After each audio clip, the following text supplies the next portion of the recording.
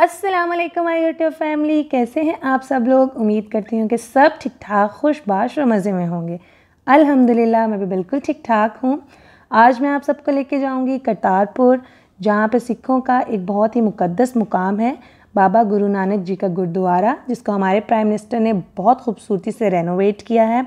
तो सोचा क्यों ना आज व्लॉग बनाया जाए, ताकि आप लोग भी मेरे साथ साथ करतारपुर का विज़िट कर सकें। रात में काफ़ी गर्मी थी, लेकिन सुबह सुबह बारिश से मौसम बहुत सुहाना हो गया था और हमारे लिए सफ़र करना काफ़ी आसान हो गया था।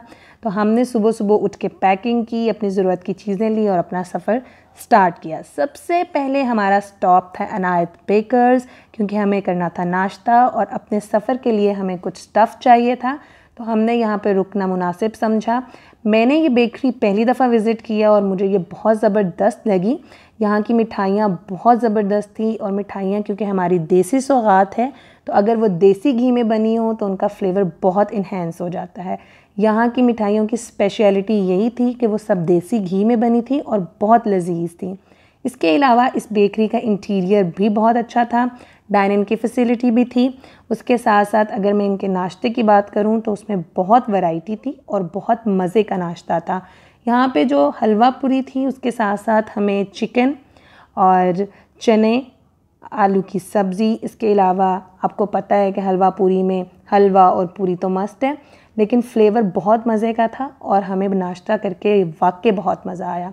उसके बाद हमने अपना सफ़र स्टार्ट किया, क्योंकि हमें पहुँचना था करतारपुर। गर्मियों के दिन थे, लेकिन मौसम सुहाना था। इवन दो कि धूप निकल आई थी थोड़ी गर्मी भी महसूस हो रही थी, लेकिन फिर भी कदरे बेहतर मौसम था। हमें बहुत एक्साइटमेंट थी और हमने बहुत खुशी से जो है वो अपना सफ़र तय किया और हम पहुँच गए करतारपुर।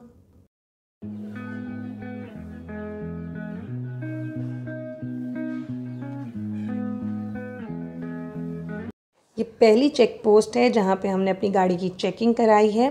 यूजली तमाम गाड़ियाँ इसी चेक पोस्ट पे पार्क की जाती हैं और आगे तीन से चार किलोमीटर का जो फासला है, वो आप ई कार्स के थ्रू तय करते हैं। ई कार्स आपको पार्किंग लॉट से गुरुद्वारे तक लेके जाती हैं और वापसी पे ऐसे ही गुरुद्वारे से पिक करती हैं और पार्किंग लॉट में ड्रॉप करती हैं। अगर आपकी गाड़ी प्रोटोकॉल नंबर के साथ है तो आप फिर अपनी गाड़ी को अंदर ले जा सकते हैं। अदरवाइज़ आपकी गाड़ी पहली चेक पोस्ट पे ही पार्क कर दी जाती है। वहाँ जाके हमें कुछ फॉर्मेलिटीज़ को पूरा करना होगा और फिर हमें एंट्री मिलेगी गुरुद्वारे के अंदर। आप देख सकते हैं खूबसूरत किस्म का मौसम और इंतहाई दिलकश मंज़र। हर तरफ़ हरियाली हरियाली है, खूबसूरत किस्म का आसमान और दूर से प्यारी सी सफ़ेद रंग ताज महल से मिलती जुलती बिल्डिंग आपको नज़र आ रही है। यहाँ की फॉर्मेलिटीज़ में मैं आपको बताऊँ तो हमें अपना आईडी कार्ड लाजमी कैरी करना है। अगर आपके पास आईडी कार्ड नहीं है तो आपको एंट्री नहीं अलाउ होगी। आपको एंट्री के लिए अपना आईडी कार्ड शो करना है। आपकी पिक्चर्स ली जाएँगी। उसके अलावा दो सौ रुपये से ढाई सौ रुपये के दरमियान टिकट्स हैं, वो आपको दी जाएँगी और फिर आप एंटर होंगे गुरुद्वारे में।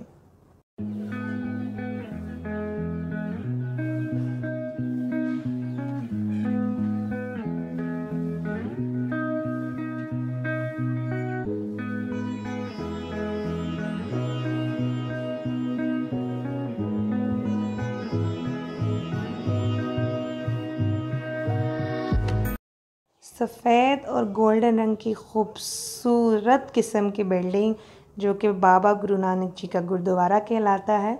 हम इसमें एंटर हो गए हैं और बहुत खूबसूरत मार्बल, ये सिखों का मुकद्दस मुकाम है तो यहाँ पर मर्द और औरत दोनों को सर ढांपने के लिए पाबंद किया जाता है। जैसे ही आप एंटर होंगे तो आपको अपनी लेफ़्ट साइड पे एक कमरा नज़र आएगा, जहाँ पर जूते उतारे जाते हैं और जमा करवाए जाते हैं। आप यहाँ पे अपने जूते जमा करवाएँगे और वापसी पे यहीं से लेके आप बाहर निकल जाएँगे। ये विज़िटर कार्ड है जो हमें विज़िट करने के लिए प्रोवाइड किया जाता है और हमें वापसी पे इसको रिटर्न करना होता है। यहाँ पे आप देख सकते हैं बिल्डिंग के साथ साथ कितनी ग्रीनरी है जो खूबसूरत किस्म का मंज़र पेश कर रही है, यहाँ का मार्बल इंतहाई नफीस और बहुत ही अला क्वालिटी का है। आप देख सकते हैं, ये बिल्डिंग ताज महल से बिल्कुल भी कम नहीं है, बिल्कुल ऐसे ही है जैसे ताज महल बनाया गया है, सफ़ेद और ख़ूबसूरत। यहाँ पे भी सफ़ेद और गोल्डन कलर का ज़्यादा इस्तेमाल किया गया है और वही चीज़ इसकी खूबसूरती में इजाफ़ा कर रही है। अब हम जा रहे हैं जी इनकी इबादत गाह की तरफ़। चारों तरफ़ आपको बिल्डिंग्स नज़र आएँगी और बिल्कुल मिडल में आपको इनकी इबादत गाह नज़र आएगी। ये वो जगह है जहाँ पे ये बैठ के अपनी इबादत करते हैं, अपनी टीचिंग्स के अकॉर्डिंग प्रीच करते हैं। और यहाँ पे बैठ के ये अपने बाबा जी का जो है, वो ज़िक्र करते हैं या जो भी इनकी तालीमात हैं, उसके अकॉर्डिंग जो भी इनके रिचुअल्स हैं, उनको परफॉर्म करते हैं। ये सबसे पहले मैं आपको दिखाऊँगी जी बाबा गुरु नानक का एक मोजा। ये हम सीढ़ियाँ चढ़ रहे हैं इवन तो कि बहुत गर्मी थी, लेकिन इसका मार्बल इंतहाई अला क्वालिटी का इस वजह से भी है, क्योंकि वो हमें बिल्कुल भी तपिश महसूस नहीं करने दे रहा था। ठंडा मार्बल था और बिल्कुल भी हमारे पाँव को अनकंफर्टेबल फ़ील नहीं हो रहा था। जी तो ये है जी मेरिकल ऑफ़ गुरु नानक जी। तो यहाँ पे आप देख सकते हैं ये ग्रेनेड है, जो यहाँ पे लगाया गया है और ये लिखा गया है यहाँ पे कि ये फेंका गया था इंडिया की तरफ़ से 1971 में। लेकिन यहाँ पे बाबा जी की कृपा की वजह से जो है ये ब्लास्ट नहीं हो सका एक्सप्लोड नहीं हो सका। तो इस वजह से इसको यहाँ पर विदा कैप्शन और प्रॉपर डिटेल लगाया गया है। ये है जी वो वाला कुआँ जहाँ से बाबा जी जो हैं वो अपनी फ़सलों को पानी देते थे। एक्चुअली वे वो जगह है जहाँ बाबा जी ने अपनी ज़िंदगी के काफ़ी साल गुजारे और उसके बाद उनकी ज़िंदगी के आखिरी अयाम भी यहीं पे गुज़रे और उन्होंने अपनी काफ़ी ज़िंदगी का हिस्सा यहाँ गुजारा और फिर उसके बाद यहीं पे वफ़ात पाई, जिसकी वजह से इस गुरुद्वारे को सिखों की नज़र में बहुत अहमियत दी जाती है। और वो यहाँ पे आते हैं, यहाँ पे फॉरेनर्स भी आते हैं, यहाँ पे सिख भी आते हैं और अपनी इबादत करते हैं और यहाँ माथा टेकते हैं। ये जी अब हम एंटर हो गए हैं, बिल्कुल मिडल में जो इनकी इबादत गाह है, वहाँ पे ये ग्राउंड फ्लोर है। ग्राउंड फ्लोर पे कुछ छोटे छोटे से टेम्पल्स थे। मुझे क्योंकि ज़्यादा इल्म नहीं है, कुछ ज़्यादा डिस्क्रिप्शन वहाँ पे नहीं दी गई थी, इसलिए मैं आपको प्रॉपर नहीं बता सकती। लेकिन ये है जी बिल्कुल ग्राउंड फ्लोर और यहाँ पे आपको ये दरवाज़ा नज़र आ रहा है। यहाँ से हम स्टेयर्स ऊपर जाएँगे।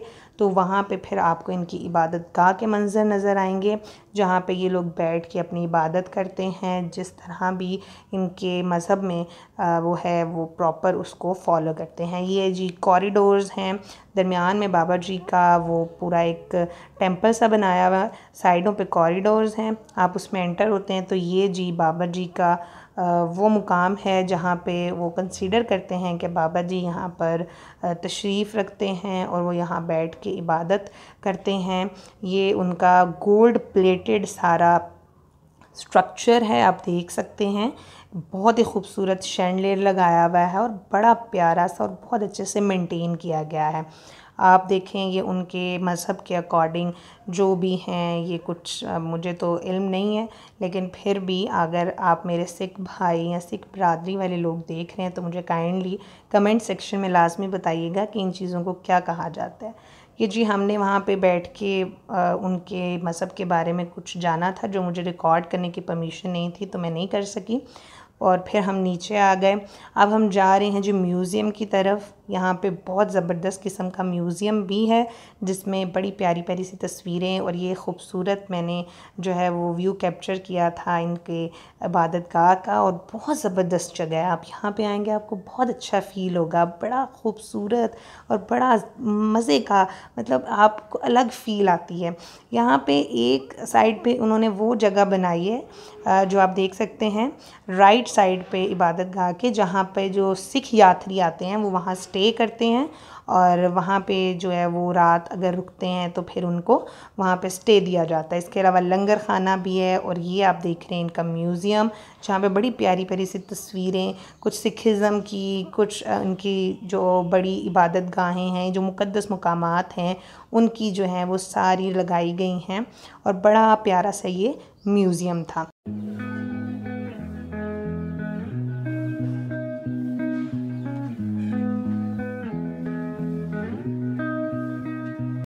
यहाँ पे बहुत ही खूबसूरत तालाब है, जहाँ पे सिख आके नहाते हैं और यहाँ पे बारिश हुई थी तो इस वजह से ये गंदा है, इसको साफ़ किया जा रहा है, फिर इसका पानी बदला जाएगा। सामने आपको सेपरेटर नज़र आ रहा है, उसके दूसरी तरफ़ औरतों का स्विमिंग पूल या तालाब या जो भी वो लोग इसको बोलते हैं, ये यहाँ मर्दों का है, वहाँ पे औरतों का है। ये कुछ स्ट्रक्चर्स भी रखे गए हैं यहाँ पर और बहुत ज़बरदस्त जगह है। मुझे यहाँ आके बींग अ मुस्लिम मुझे यहाँ आके बहुत अच्छा लगा और इसको विज़िट करके बहुत मज़ा आया। और बड़ा ह्यूज किस्म का ये गुरुद्वारा है और बड़ा खूबसूरती के साथ, बड़े ज़बरदस्त कलर कॉम्बिनेशन के साथ बनाया गया है। सिख यात्री, अगर आप लोग मेरी ये वीडियोस देख रहे हैं तो लाजमी आइए और इसको विज़िट कीजिए। ये आपकी जगह है और आप ही के लिए इसको रेनोवेट किया गया है। Thank you for watching